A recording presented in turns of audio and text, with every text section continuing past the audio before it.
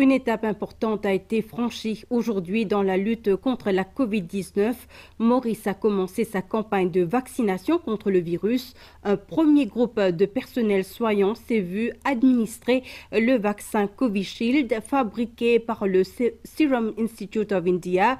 L'exercice s'est déroulé dans la salle de conférence de l'hôpital Victoria à Kandos. Avec les 100 000 doses reçues de l'Inde, ce sont 50 000 frontliners qui seront vaccinés durant les prochains jours.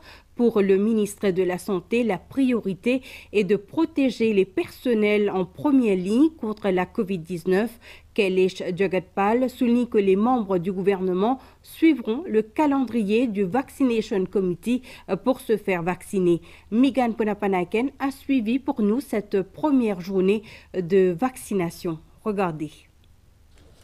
Ils travaillent tous dans le secteur de la santé. Ils sont médecins, infirmiers ou general workers et sont au front dans la lutte contre la COVID-19. Ce mardi, ils ont été parmi les premiers à se faire vacciner.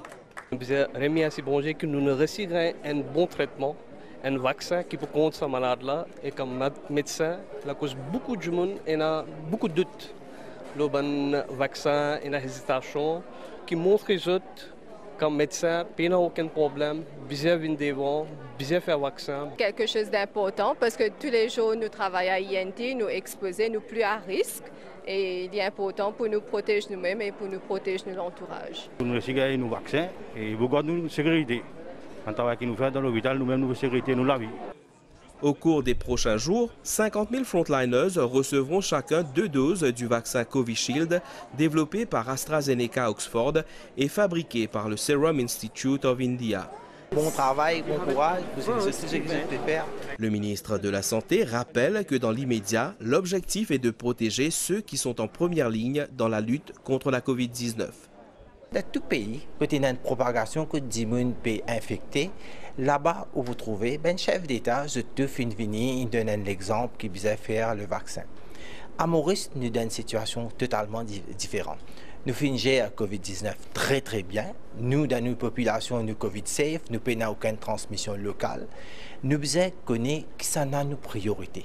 Nos priorités pour faire vaccin, tout ça, ben, qui travaillent dans l'INT, qui sont exposés, ben, qui travaillent dans le centre quarantaine, qui travaillent dans, euh, à l'aéroport, le port, côté n'a ben, ben passager Maurice. Et bien sûr, quand on arrive l'air, nous, le Premier ministre, le gouvernement, nous tous pouvons faire vaccin.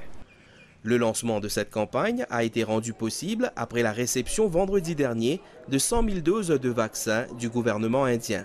Aujourd'hui, c'est le 26 janvier, c'est le Republic Day de l'Inde. Uh, it's a very auspicious day, a special occasion. C'est une journée très propice, une occasion spéciale et je voudrais vous remercier tous d'avoir lancé ce programme de vaccination aujourd'hui. C'est un honneur et un privilège pour l'Inde de pouvoir aider le peuple mauricien à un moment comme celui-ci où il en a besoin. Maurice est un partenaire prioritaire unique pour l'Inde. À Candos ce mardi, tous ceux qui se sont fait vacciner ont suivi un protocole strict établi par les autorités sanitaires.